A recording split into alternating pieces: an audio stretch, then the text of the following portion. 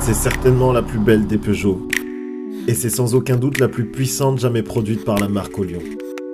Et croyez-moi, on a pu le constater.